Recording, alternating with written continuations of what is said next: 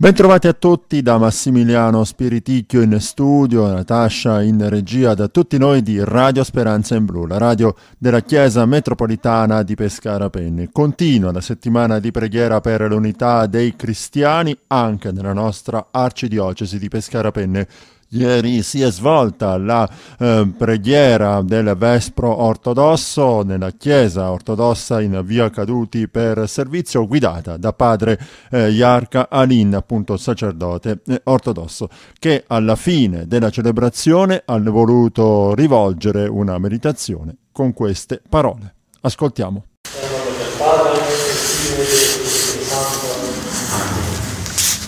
Cari fratelli e sorelle, con eh, l'aiuto del nostro Signore, eccoci andati anche quest'anno a celebrare il festival del rito ortodosso nella chiesa Santa Signore Giusto e Dante Contessa, il protettore di questo tempio, di questa chiesa.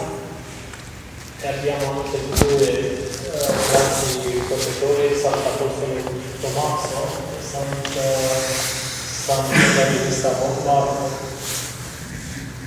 Ci incontriamo di nuovo nell'opera della preghiera con la certezza che Dio con lui e in cui il Santo Apostolo Paolo ha riposto tutte le sue speranze di scappare dalle onde del mare, lo stesso Dio ci salverà ogni volta che ci troviamo in pericolo sulle onde onda della nostra vita e poniamo tutta la nostra speranza in Lui.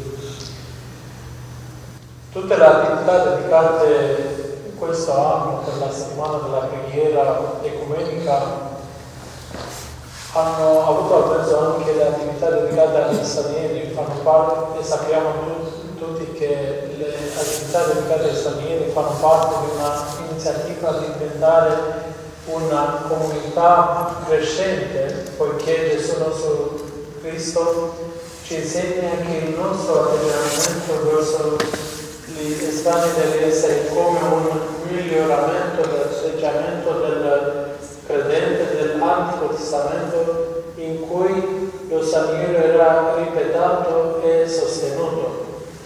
Lo dico perché in nostri giorni purtroppo arriviamo anche alla situazione di accoglienza degli stranieri che nel tempo vogliono diventare quelli che stabiliscono le regole della casa e che li hanno appena ospitato, distruggendo l'armonia e la tranquillità dei benefattori. Difficilmente difficile situazione, ma qui la soluzione rimane la stessa fiducia totale in Dio l'unico che può ripristinare la pace e l'armonia, i comandamenti dell'amore verso il prossimo di Levitico 19-18, non dichiarai né proverai dolore contro i figli del tuo popolo, ma amerai il tuo prossimo come te stesso, che Gesù sottolinea ovviamente includendo gli estranei. Inoltre, Cristo, parlando del giudizio finale, Matteo capitolo 25, versetto 31-46, mostra che sono decisivi per l'eredità del regno eterno la misericordia per gli affamati, per gli assentati, per i poveri, i malati, i prigionieri e l'ospitalità per gli estranei con cui Cristo si identificava. L'ospitalità cristiana nasce dall'incarnazione del Figlio di Dio che non nasce al centro dell'attenzione ma alla periferia della società, in un, un luogo trascurato da tutti. Cristo assume la condizione di anonimato e di estraneo risultato dal modo della sua incarnazione e della morte sulla croce, essendo abbandonato da tutti coloro che lui ha sollevato dall'ignoranza, dalla malattia e dalla morte. Ecco perché l'amore e l'ospitalità degli estranei come le due mani di Cristo nel mondo rimangono ogni una, oggi una grande prova per un seguitore reale di Cristo. C'è un detto che dice, la braccia è un segno d'amore, l'amore è un segno di misericordia, misericordia è un segno di umanità e l'umanità è la prova della fede. Vi porto davanti una bellissima parola, parabola che sottolinea l'affermazione di cui sopra. Una volta viveva un uomo devoto Ogni giorno, mentre si svegliava, si lavava e poi andava in chiesa per il suo lavoro mattutino. Sollevava sempre una calda preghiera. Signore, vengo sempre da te. Non mi sono mai perso. Al mattino e alla sera prego.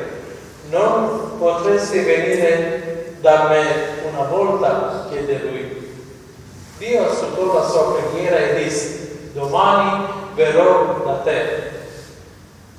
Che gioia per il povero! Pulì tutta la casa, preparò il cibo, accese le candele, nella stanza degli ospiti ha ordinato un sacco di vassoi pieni di frutta, torte, dolci e fiori. Tutti erano pronti a ricevere Dio. Allora, dal servizio mattutino, un ragazzino che stava passando di lì vide attraverso le finestre le torte, si avvicinò e disse, Signore, hai molte torte, non me ne dai una?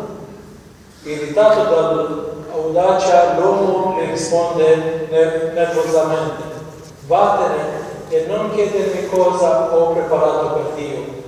E il ragazzo se ne andò spaventandosi. La Campana annunciò la fine del servizio mattutino. Il cristiano dice, Dio verrà sicuramente dopo la preghiera di mezzogiorno, lo aspetterò. Stanco si siede sulla macchina di fronte alla casa, viene un mediante e chiede una mela. L'uomo lo ha cacciato via senza troppe parole. Poi ha lavato, quindi poi ha lavato quindi ancuramente il luogo in cui il, media, il mendicante ha fatto un passo. E mezzogiorno passato e Dio non appare ancora. E sera il nostro uomo è sempre in attesa della vista promessa. Nell'ora di preghiera serale appare un pellegrino che lo, lo prega. Lasciami riposare sulla tua panchina e passare la notte qui nessun pensiero e il posto che ho preparato per te, disse lui, era buio. Dio non ha mantenuto la sua promessa, dice il povero arrabbiato. Giorno successivo l'uomo va in chiesa al servizio del mattutina portando il principe e scoppiando in lacrime. Signore, non sei venuto da me come mi avevi promesso. Perché? Ma Dio rispose, Tre volte sono venuto da te e tre volte mi hai portato via, perché quando hai inseguito il bambino, il mendicante e il pellegrino, in effetti mi hai cacciato via me. Sulla base di alcune statistiche si diceva non molto tempo fa che ogni minuto in tutto il mondo 20 persone portano e lasciano tutto a causa di guerre, persecuzioni, terrore e altri problemi, ottenendo così un status speciale di rifugiato.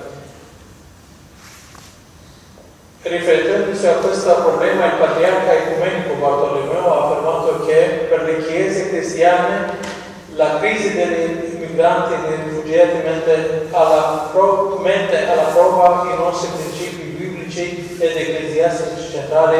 Ecco perché l'ospitalità per gli stranieri è al centro della vita pastorale del, e della vita e della missione della Chiesa, della nostra Chiesa cristiana. Il patriarca Teodoro di Alessandria, chiedendo la protezione dei rifugiati che ogni anno perdono la vita nelle acque del Mar Mediterraneo, ha dichiarato nessun bambino dovrebbe morire per la calma nel calmo mar Mediterraneo come è successo ai tempi di Oreo quando il mare è diventato un cimitero per i bambini piccoli. Il nostro desiderio e preghiera è che per il Signore ci protegga da tutti i mali delle tentazioni e ci tenga nella via della sua buona volontà in pace, amore, armonia e umanità sotto la sua misericordiosa, misericordiosa cura. Possa la grazia del Signore, l'amore e la sua pace essere con tutti noi nei secoli dei secoli. Amen.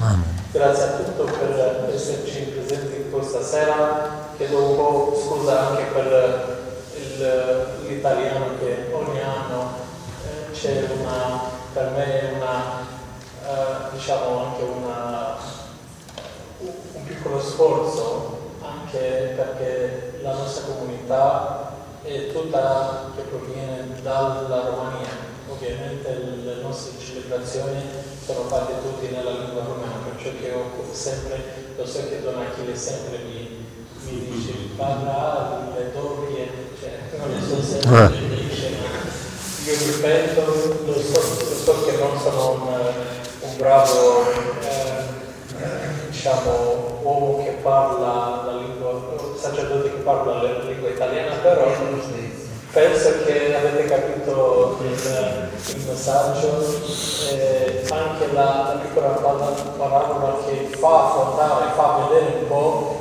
eh, diciamo anche la situazione che lo stiamo, vicendo, eh, lo stiamo vivendo ogni giorno. Grazie perché siete, stati venuti. Eh, un ringrazio particolarmente anche al padre Pietro, qualcuno non ho avuto tempo di presentarlo, parlo dietro il mio collega del decanato perché già ho spiegato un attimo prima che noi siamo un decanato che, che comprende un po' tutta la regione Abruzzo e Molise e abbiamo sette parrocchie. Abbiamo una parrocchia a Vasto dove c'è Padre Pietro, una parrocchia Lanciano, una parrocchia a che le nostre parrocchie comprendono più parrocchie, diciamo, quindi sono uh, unificate per, per, tutta la regione, cioè una parrocchia vuol dire che uh, la parrocchia cristiana vuol dire che il sacerdote va fino a Torre dei Pastri, Bussi, Pene, lì sopra, diciamo come celebrazione la liturgia si fa solo qua, anche a Vasto c'è soltanto un posto dove si fa la liturgia, ma padre va vada da tutte le parti e porta la parola del nostro Signore. Anche Padre Pietro come me stiamo celebrando nella lingua romana perché siamo diciamo, eh, trasferiti, portati qui in queste zone per eh, la popolazione di fede ortodossa anche di lingua romena e moldava perché è sempre la lingua romena. E vi dicevo che un'altra parola che abbiamo a Alzano, a Teramo, eh, all'Aquila, eh, un'altra parrocchia a Campobasso, così grande diciamo, è, come anche la giurisdizione cattolica, Abruzzo e Molise, no? C'è la giurisdizione ecclesiastica, la, la giurisdizione ecclesiastica e così anche noi abbiamo il decanato così. Ho avuto questa gioia di avere eh, vicino a me padre Pietro che mi ha aiutato un po', avevo un po' emozione perché vedo che da ogni anno stiamo crescendo l'anno scorso, l'anno scorso eravamo di meno, no? Non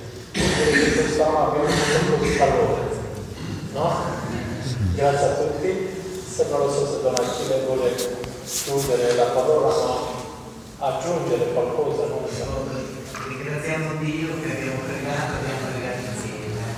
Eh, fino a 50 anni già, già è diventata una tradizione che si chiude con, la, eh, con il vespro della Chiesa ortodossa di Pescara. Questa è diventata una, una tradizione. Ed è tutto per quanto riguarda questa puntata di servizi interviste. Da Massimiliano Spiriticchio in studio, eh, Natascia alla parte tecnica e da tutti noi di Radio Speranza in Blu, la radio della Chiesa Metropolitana di Pescara Penne, grazie e a risentirci.